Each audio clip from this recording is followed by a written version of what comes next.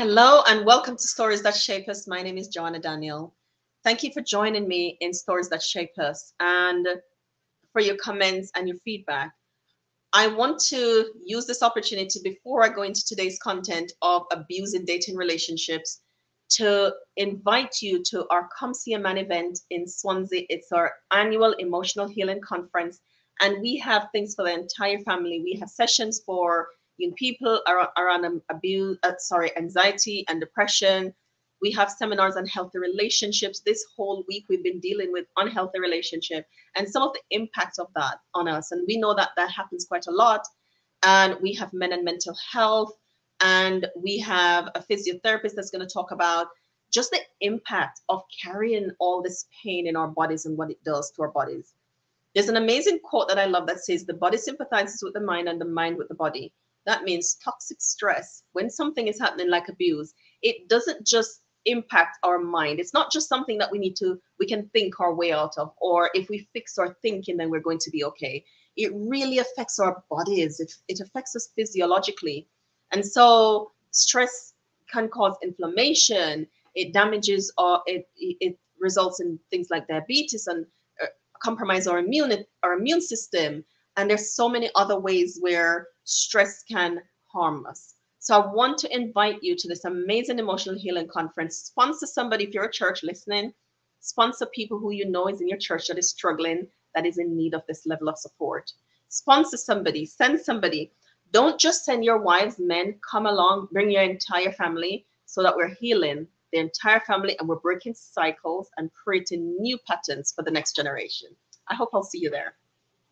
So, with that said, I'm going into today's story, which is abuse in dating relationships. Now, this should not happen, but it does. And because it does, I want you to be aware of how it happens. So if you're in a relationship that is abusive, that has these tactics, that it has these features, then you can know it for what it is.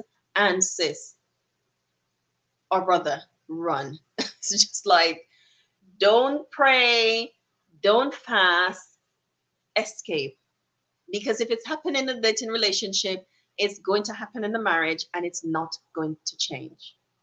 I know when we're in love and there's endorphins and and all the happy is that the name of the happy hormones, you know, and all of that is happening, it the feel good feelings, it's very difficult to make those decisions.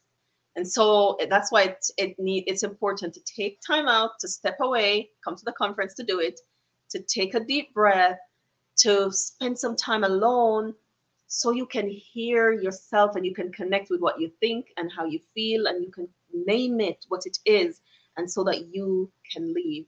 I know people lie to us right? And they tell us that. If we're not married at a, married rather at a certain age then something is wrong with us. They society will make you believe that something is wrong. There might be those well-meaning church mothers that is asking you why you're not married yet there might be those aunties that is pressuring you that, well, how come you're not married? And look at so and so and so and so. And you might feel extreme pressure to get married because somehow it's going to fulfill your life or make you into an elevated human. You you are okay just as you are. And I know those pressures are can be enormous, right? I understand. But believe me, You'd rather be alone than be in a relationship that is unhealthy and abusive. So let's talk about what, what that looks like. What does it look like? What are some of the things that happens in relationships that is that is a dating relationship that is harmful and abusive? The same things will happen in the marriage, in an abusive marriage. The same manipulation, the same control, hitting. I, you know, I know that their their boyfriends that hits, their girlfriend that hits if he hits you, if they hit you when you're dating, they're going to hit you when you're married. So you might say, Don't hit me again. And if you do, I won't marry you. They might stop. But I tell you what will happen when you when you get married, they'll start again. Maybe the day you get married, they might start again. Because now you're here. Because you might not believe in divorce. Because your culture might not support divorce. Because your church might not support divorce so now they know that they have you right in their grasp and they can feel now I can do whatever I want to do with you. If they hit you when you're dating, they're going to hit you when they're married. Anybody who raises a hand to you while you're dating, hit you, push you, pretend to choke you, hit the wall where you're sitting, break the furniture, kick the car, smash your window, and a whole host of other things that happens in dating relationships. If that is happening while you're dating, it will happen when you're married. If they tag you, if they tap into your phones, if they do those things when you're dating, they will do it when you're married. If they're jealous and it's unhealthy, if their jealousy extend to the place where you can't say hello to anybody and nobody can say hello to you, if you are blamed for somebody looking at you, because you can't control where people look, if you're blamed for somebody looking at you, if the jealousy is any form of jealousy is not is not healthy for any relationship. Not it, it's not always abusive, but when it gets to the place where you are held responsible, where you are punished through silence, through withdrawal, through um, name calling, through uh, insults. When it when it gets to that place, it's abuse, right? Um, it's not love, friend, beloved. It's not love. It's not. They're not doing it because they love you and don't want to lose you. They're doing it because they're an abuser. That's why they're doing it, not because they love you and don't want to lose you. This person is abusive emotionally, physically, and they will continue to do that. You might be used to being gaslighted. So you might, one of the things you mustn't do is show them this video because you go say, look at what Joanna said, and they'll they'll they'll do listen to it, but I tell you what they'll do after. They'll gaslight you. They'll try to discredit me and the information. They'll try to discredit you for even listening to it why would you listen to something like that? How could you not trust me? I can't believe you believe this about me. And they will twist it really quickly and project onto you and make it about you and how such a bad girlfriend that boyfriend that you are that you would even and you know that they're going through a hard time right now suggest something like this to them you know, wives, if you're listening and you're in an abusive marriage, if you recognize it, they'll say the same thing, right? It will be projected onto you. It'd be like your fault that they do this. Well, if you were faithful, I wouldn't have to be this. If you didn't smile at that brother in church last week, or if you didn't let this one hug you too close, or whatever it is that they would have made up in their minds that you've done, then it would be your fault and so you will show them this video and and they will leave you won't leave with any sense of satisfaction that it's understood that finally you have a name for the things that you've gone through and you want them to be able to understand that there's a name this is what it is you need to change or we can't get married. So here are some things also to consider not doing. And i know that this is challenging because again the pressures of society around being married you might feel like you've committed yourself in certain ways in the relationship. They may have pressured you into having sex in the relationship, and now you feel indebted, connected, um, shamed. You might feel like you have to. You don't have to do anything, right? But you might feel those ways because they might be using it against you. They might say you're damaged, you're not good enough now, nobody will want you I'm the only one. You might as well, all of those things. And you might be reasoning it out and said, you know, I've been with him maybe for two years, one year, 18 months, whatever, five years. We're having this sexual relationship. I might as well. Don't do it because you're going to be miserable, because you deserve a loving, caring relationship. This that has been going on will be affecting your self esteem. And you might feel like you are not a good Christian. God won't want anything to do with you. That is not true. We know that He loves you with an everlasting love and with loving kindness, He draws you. He will never call you names, He will never judge you. And He's the only one that can.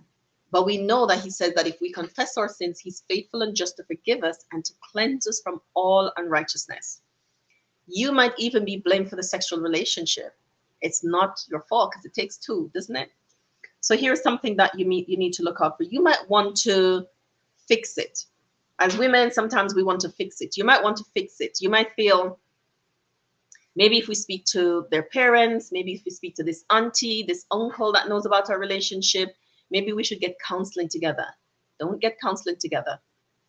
You're going to come out of that relationship, a counseling relationship, more damaged because this person is so skilled at manipulating and gaslighting and projecting that before you leave that space, everything will be your fault. And that's why we don't encourage counseling, whether you're married or not, for people when there's abuse happening.